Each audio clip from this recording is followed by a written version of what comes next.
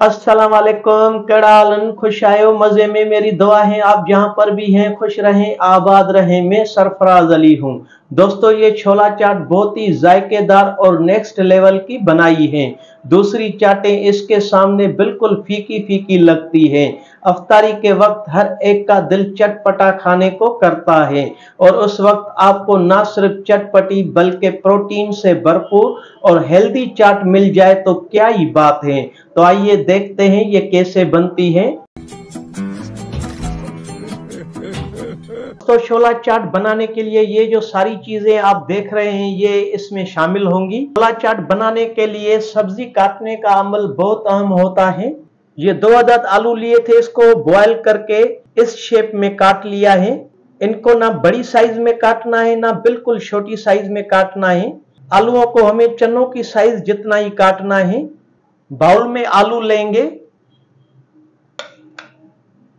दो अदद प्याज ली थी प्याज को हमें दरमियाना स्लाइस काटना है।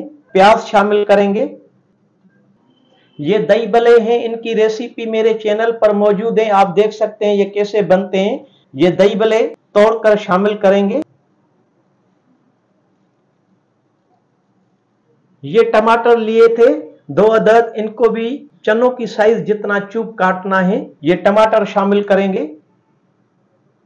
अभी जनाब चने शामिल करेंगे, क्योंकि ये चना चाट है इसके बगैर तो चना चाट बनेगी नहीं। ये बड़ी साइज़ के एक पाव चने लिए हैं। हाफ़ टी स्पून मीठी सोडा शामिल करके सारी रात भिगोकर चनों को अच्छी तरह बॉयल कर लिया है। चने कैसे बॉयल होते हैं रेसिपी मेरे चैनल पर मौजूद है। अभी ये चने शामिल करेंगे।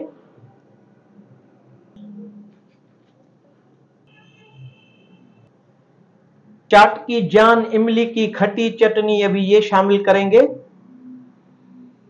इसकी रेसिपी भी चैनल पर मौजूद है। इमली खजूर की मीठी चटनी ये चाट के जायके को मजीद इन्हेंस करती है। ये सारी रेसिपीज़ मेरे चैनल पर मौजूद हैं। आप देख सकते हैं। अभी जनाब जाएगा थोड़ा सा चाट मसाला। दही रायता शामिल करेंगे।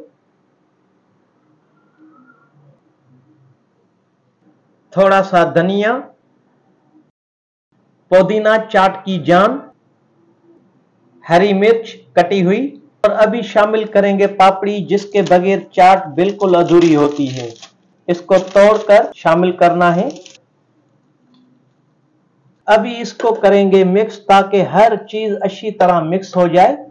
जिन्होंने सब्सक्राइब किया है, उनका बहुत बहुत शुक्रिया। जनाब, आपसे भी गुजारिश है, सब्सक्राइब ज़रूर कीजिएगा। चाट को मिक्स करने के बाद ये सारी चीज़ें फिर थोड़ी सी ऊपर से गार्निश के लिए ऐड करेंगे, ताकि चाट दिखने में अच्छी लगे।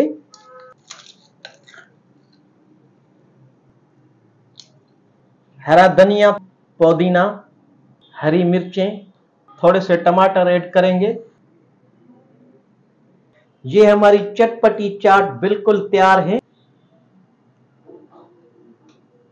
चाट वो जो देखते ही मुँह में पानी आ जाए उसे चाट बोलते हैं वो चाट ये है। इस चाट के आगे सारी चाटें फीकी फीकी होती है। ब्यूटीफुल चाट में से थोड़ी सी चाट निकालूँगा। मीठी चटनी थोड़ी सी ऐड करेंगे मजीद थोड़ा सा चाट मसाला रायता शामिल करेंगे। चाट की जान पापड़ी हरा धनिया, पुदीना, हरी मिर्च, थोड़े से टमाटर। दोस्तों, चाट ऐसी होनी चाहिए जो खाए वो बोले, वाह, ये वही चाट है। उम्मीद करता हूँ आपको रेसिपी पसंद आई होगी तो लाइक कमेंट्स शेयर ज़रूर कीजिएगा। अल्लाह हाफिज।